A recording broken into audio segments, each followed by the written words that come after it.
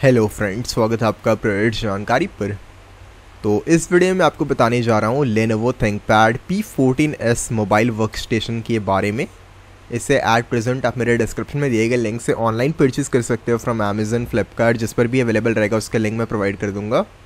Presently Amazon पे आपको मिल जाएगा for ninety nine thousand nine hundred ninety rupees only अब आते हैं इसकी फ़ीचर्स पर।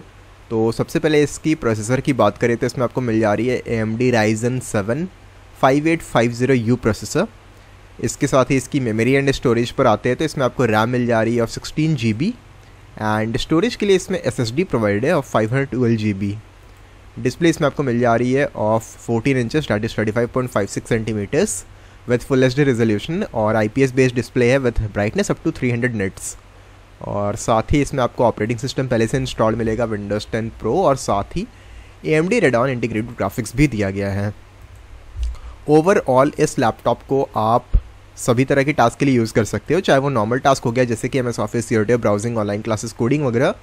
इसके साथ ही अगर आप सर्वर सेटअप करना चाहते हो वेबसाइट होस्ट करना चाहते हो वर्क स्टेशन की तरह आप यूज़ करना चाहते हो वर्चुअल सॉफ्टवेयर आप यूज़ करना चाहते हो वर्चुअल वर्क स्टेशन वगैरह वी वगैरह पर आप बहुत ज़्यादा टास्क करना चाहते हो वर्चुअली तो इन सच केस भी आप इसे ले सकते हो। परफॉर्मेंस बहुत अच्छी रहेगी। वर्चुअल स्टेशन के लिए one of the best laptop है।